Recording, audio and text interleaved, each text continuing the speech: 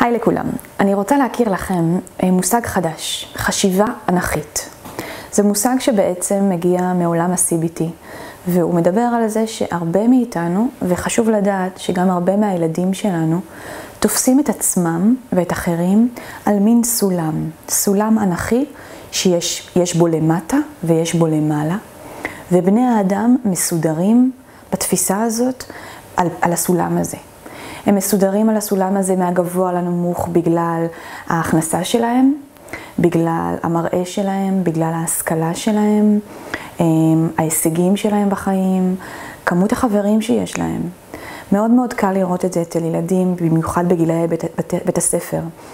כמה אני מקובל ביחס למישהו אחר, כמה אני מצליח ביחס למישהו אחר. אבל האמת היא שלא רק הילדים מסתובבים בחשיבה האנכית הזאת, גם אנחנו. גם אנחנו הרבה פעמים מסדרים את עצמנו על סולם.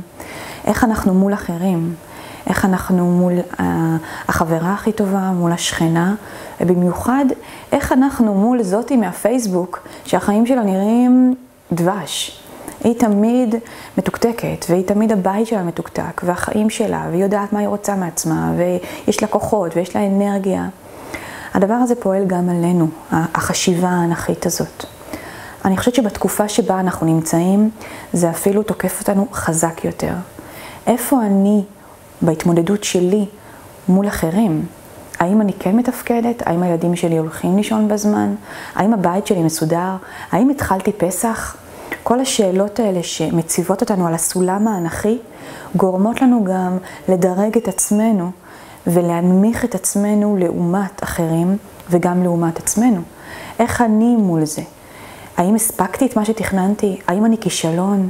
האם זה שבכיתי אומר שנכשלתי? אני חושבת שכדאי תמיד, במיוחד בתקופה שאנחנו נמצאים בה, לאמץ לעצמנו ציר רוחבי.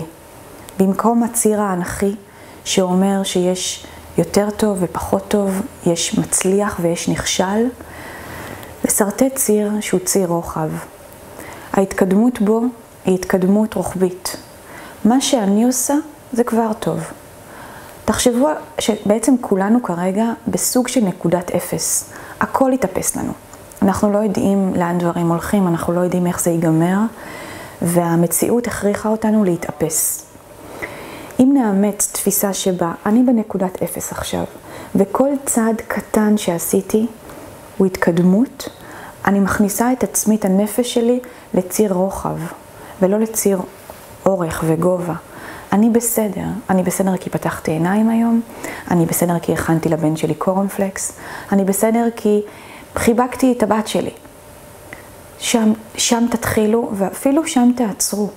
כל עשייה, כל חיוך, כל חיבוק, כל התקדמות היא אה, מקדמת. היא לא מקדמת לגובה לעומת אחרים, היא התקדמות שלי מול עצמי, היא התקדמות שלא הייתי חייבת לעשות, ועשיתי אותה בכל זאת, קמתי מהמיטה. החלפתי את הפיג'מה, או אפילו לא החלפתי אותה. עשיתי התקדמות, תנוחו שם, תשמחו שם. הפייסבוק, וכולנו יודעים את זה, הוא שקר, אבל הוא רק מראה לשקר שאנחנו נמצאים בה תמיד.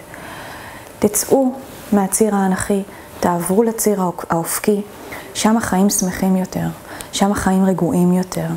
שם אנחנו כנים עם עצמנו ומקבלים אה, את השמחה שמגיעה לנו על העשייה שלנו. אפילו אם זזנו בסנטימטר, זזנו. אז בואו נעבור לציר הרוחב.